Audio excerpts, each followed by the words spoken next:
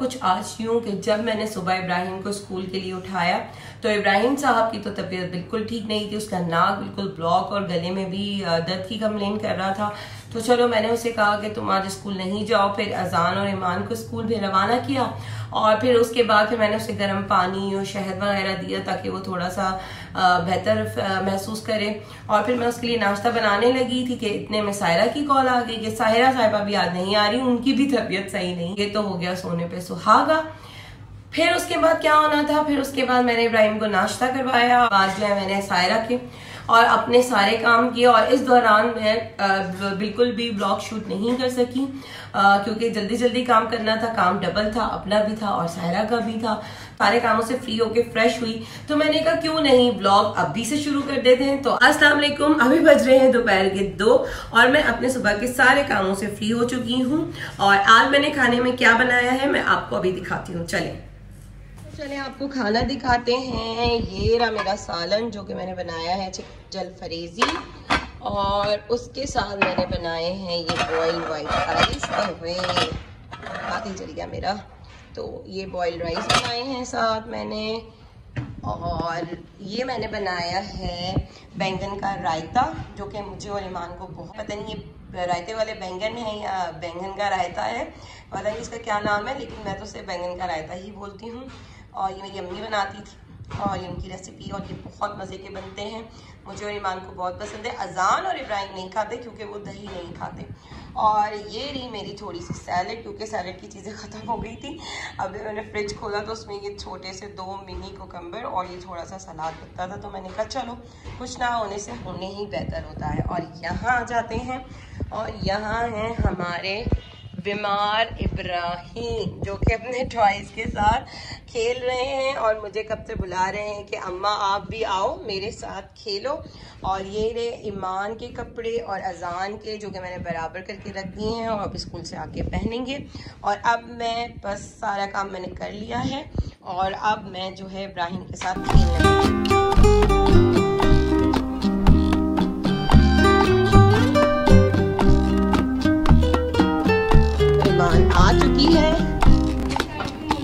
वालेकुम अस्सलाम। ये क्या किया हुआ है? ये कराची की सर्दी का हाल है। बच्चे सुबह स्वेटर पहन के जाते हैं और बाद में ये हाल होता है। खाने में कुछ नहीं बनाया। और ये रहा इब्राहिम, और जो कि सिर्फ़ सफ़ेद चावल खा रहा है आज। कह रहा है कि मैं कोई सालन वाला नहीं खा रहा, मेरे गले में है दर्द। और अच्छा जी, ये हम सबका खाना। और अभी हम खाना खाते हैं और फिर देखते हैं कि क्या करते हैं। आजकल बच्चे स्कूल से इतना लेट आ रहे हैं कि जब तक मैं, हम सब खाने से फ्री होते हैं और फिर मैं किचन विचन साफ़ करती हूँ तो उसके बाद बिल्कुल शाम हो जाती है और मेरे वॉक का टाइम हो जाता है। आराम का मुझे बिल्कुल भी आजकल दोपहर में टाइम नहीं मिलता। आप जो है यहाँ पे आराम फरमा रहे हैं, क्योंकि तबीयत सही नहीं है तो आज फुल टाइम मस्ती चल रही है। तबीयत खराब होते, होने के बावजूद भी बच्चों की मस्ती जो है, चलती रहती है। फ़ोन यूज़ हो रहा है पूरा सुबह से। वॉक से आने के बाद मुझे लगा कि मैंने आज कुछ ज़्यादा ही कैलोरीज बर्न कर ली हैं तो चले आज कुछ खाया जाए। मैं बना रही हूँ बच्चों और अपने लिए चीज़ ब्रेड क्योंकि घर में चीज़ भी रखी हुई थी और टेंडर पॉप्स को मैंने थोड़ा सा फ्राई कर लिया है। चिकन कोई और था नहीं तो टेंडर पॉप्स को फ्राई करके छोटे टुकड़े कर लिए और वेजिटेबल्स में मैंने सिर्फ़ गाजर और प्याज ली है। तो अब मैं क्या करूँगी? थोड़ा सा डाल दूँगी इनके ऊपर चिली गार्लिक सॉस इनकी बच्चों की व्हाइट ब्रेड है और मेरी है ब्राउन ब्रेड ठीक है। और अब चिकन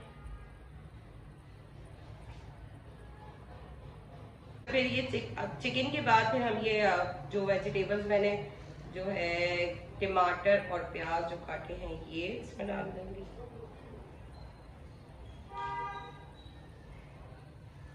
ये बड़े मज़े के लगते हैं सादे सादे से ज़्यादा इसमें कुछ होता भी नहीं है। लेकिन ये कि चीज़ के साथ और ब्रेड और चीज़ के जो है और थोड़ी सी अगर ये चीज़ों के साथ बड़ा अच्छा कॉम्बिनेशन लगता है, बड़ा लाइट लाइट सा लगता है। बच्चों को ऐसी ज़्यादा वेजिटेबल पसंद नहीं है, खासतौर पर प्याज और मुझे बहुत पसंद है। अच्छा चीज़ मेरा फ्रीज हुआ है तो ये जो है वेट तो होगा नहीं। मैं इसे बटर नाइफ से ही, ज़रा से राइस से खा दूँगी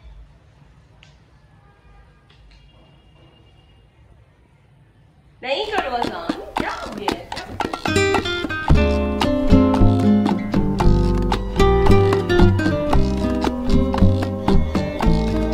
और ये रेडी है। अब मैं इसको पैन में रख के एक एक को टोस्ट करूँगी।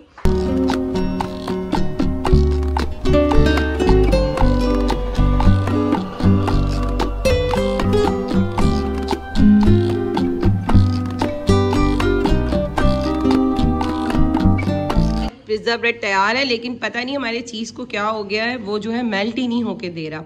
जबकि नीचे से जो ब्रेड है वो बिल्कुल ब्राउन हो चुकी है। अब मैं और वेट करती तो फिर ये जल जाती।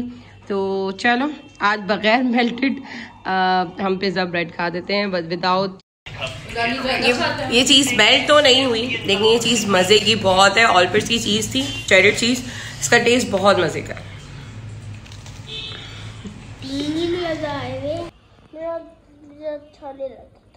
तो भी क्या खाया आपने आज? बिस्किट बिस्किट कौन सा बिस्किट? डिनर करने के बाद मैं किचन में आई और मैंने किचन पूरा साफ़ कर दिया है अभी। रात को सोने से पहले मैं अपना किचन पूरा साफ़ करके सोती हूँ। और अब मैं अपने लिए बनाने वाली हूँ कैलेमाइन टी। और मैंने आप लोग से कहा था कि मैं अपनी कैलेमाइन टी की रेसिपी आप लोगों से शेयर चले तो मैं इसको आपको इसकी रेसिपी भी देती हूँ और साथ साथ इसके बेनिफिट्स भी बताती हूँ। अच्छा ये मैंने डेढ़ कप पानी ले लिया है और इसमें डाल दिए चंद टुकड़े अदरक के, लेमन पाउडर। अगर आपके पास साबुत दालचीनी है तो आप वो डाल दें, डाल रही हूँ। पानी उबल जाएगा तो दो मिनट तक इसे मैं पकने दूँगी। ये रिवाइडल के एक कैलेमाइन टी साथ में यूज़ करती हूँ। लोकल में मुझे यही मिले हैं। अभी तक वैसे इम्पोर्टेड में बहुत सारे आते हैं और अब ये पानी में जो है अच्छा खासा जोश आ चुका है। और अब मैं कर दूँगी इसका चूल्हा बंद। और इसमें डाल दूँगी कैरमेन साशे। और इसे अब मैं थोड़ी देर के लिए इसमें रहने दूँगी। अच्छा अब ये मैं इसमें निकाल लूँगी कप में। इसमें लेमन डाल देती हूँ। लेमन जूस तो फिर मैं मज़े से पी सकती हूँ। जी तो ये थी मेरी कैलेमाइन टी की रेसिपी जो मैंने आपसे शेयर की। इसके बहुत सारे बेनिफिट्स हैं। कैलेमाइन टी जिन्हें नींद कम आती है या एनजाइटी या डिप्रेशन के शिकार होते हैं, उनके लिए भी बहुत अच्छी है। मैं इसलिए इस्तेमाल करती हूँ क्योंकि मुझे नींद थोड़ी कम आती है और दालचीनी और अदरक का जो है कैलेमाइन टी से कोई ताल्लुक नहीं है, वो मैं इसलिए डालती हूँ क्योंकि मैं आजकल अपना वेट रिड्यूस कर रही हूँ तो ये वेट लॉस में बहुत हेल्पफुल होती है। और आप सबको अल्लाह हाफिज शबा खैर।